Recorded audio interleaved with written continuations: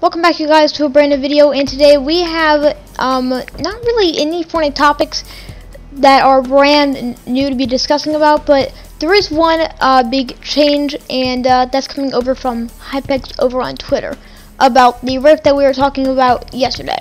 And he posted this earlier today saying that so I was bored and, and tried to make the upcoming rift then get closer to the ground and it worked and I was right it was above Catty Corner and the vault. Note it will not be this close to the ground. The height of it is 900k. I made it 20k. So that's pretty cool right there. Um, but that's really all about it that we had to be discussing about today.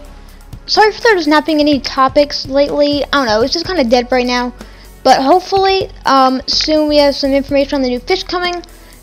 And hopefully that China V-Bucks uh, feature does come out sooner or later where you can get as many, whatever uh, amount of V-Bucks you would like. But yeah, sorry, but I will see you all tomorrow in a brand new video, and peace out.